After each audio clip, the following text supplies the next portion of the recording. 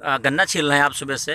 बारिश हो रही है क्या क्या असर पड़ेगा? ये लाभदायक है जो बूंदाबांदी हो रही है जो लाही मसूर बह गई उसके लिए लाभदायक है जो नई बही है उसके लिए हानिकारक है। और बाकी मौसम तो लदे खड़ा है मौसम का परिवर्तन हुआ है मौसम ठंडा है सुबह से।